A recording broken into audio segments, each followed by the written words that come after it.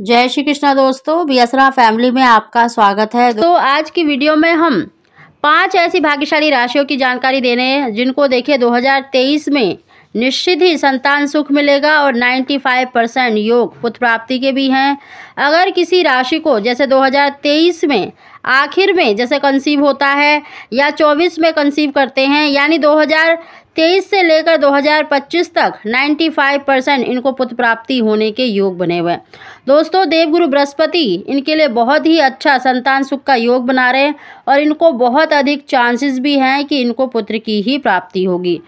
वैसे तो दोस्तों 2023 में ही इनको पुत्र प्राप्ति के बहुत अच्छे योग बने हुए हैं, लेकिन इनको 2024 और 25 में भी पुत्र प्राप्ति के बहुत अच्छे योग बने हुए हैं।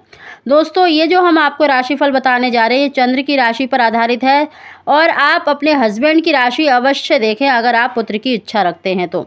दोस्तों, उसकी जानकारी देने से पहले अगर अभी तक आपने हमारे चैनल को सब्सक्राइब नहीं कर रखा है तो सब्सक्राइब ज़रूर कर लें, बगल में बेल आइकन को भी दबा दें, जिससे मेरी आने वाली सभी लेटेस्ट वीडियो का नोटिफिकेशन सबसे पहले आप तक पहुँच सके। दोस्तों, इन पाँच भाग्यशाली राशियों को देखिए 2023 से ही बहुत ही श्रेष्ठ और शुभ योग प्रारंभ हो रहा है।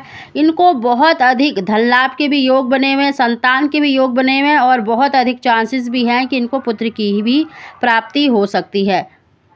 दोस्तों, अगर आप संतान की, धन की या किसी की भी मनोकामना रखते हैं तो आप तीन कार्य अपने जीवन में अवश्य किया करें कि सोमवार के दिन भगवान शंकर का पूजन अवश्य करें। भगवान शंकर का पूजन करने से निश्चित ही आपकी हर मनोकामना पूरी होती है। साथ ही, आप शनिवार के दिन, शनिदेव के आगे एक सरसों के तेल का दीपक अवश्य जलाएँ। इससे आपके जितने भी ग्रह दोष है, यानी जिस कार्य में आपकी रुकावट आ रही है, वो अवश्य ही दूर होंगे। साथ ही दोस्तों, हर कार्य में सफलता के लिए और पुत्र प्राप्ति के लिए। देखिए, अपने पितरों का आशीर्वाद भी अवश्य होना चाहिए। तो अमावस्या के दिन और पूर्णिमा के दिन आप श्रीहरि विष्णु का पूजन अवश्य करें, अपने पितरों का तर्पण अवश्य करें। तो देखना आपको मन वांछित संतान सुख के योग बनते हैं। साथ ही दोस्तों, अपने इष्ट देवता का भी पूजन अवश्य करना चाहिए। दोस्तों, ये थोड़े से उपाय अगर आप अपने जीवन में नित्य प्रति कर लेते हैं तो यकीन मानिए, आपको जीवन में तरक्की करने से कोई नहीं रोक सकता। आपको हर क्षेत्र में सफलता के योग बनते हैं। दोस्तों, इन पाँच भाग्यशाली राशियों में सबसे पहली जो राशि है मेष।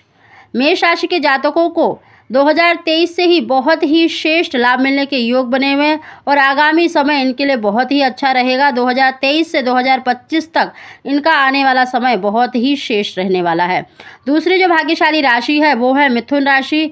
मिथुन राशि के जातकों को देखिए 2023 में जनवरी से ही पूरे वर्ष और आगामी समय भी इनके लिए बहुत ही श्रेष्ठ लाभ मिलने के योग बने इनको धन लाभ होगा। संतान सुख के साथ साथ पुत्र प्राप्ति के भी बहुत अच्छे योग बने हुए हैं। दोस्तों, अगली जो राशि है वो है सिंह राशि, तुला राशि, धनु राशि और मकर राशि। ये भाग्यशाली राशियाँ ऐसी हैं जिनको 2023 में बहुत ही श्रेष्ठ लाभ मिलने के योग बन रहे हैं और ये शुभ योग इनको 2025 तक देखने को मिलने वाला है। तो दोस्तों अगर आप जीवन में सफल होना चाहते हैं तो जो हमने उपाय बताए हैं, उनको अवश्य करिएगा। निश्चित ही आपको लाभ मिलेगा।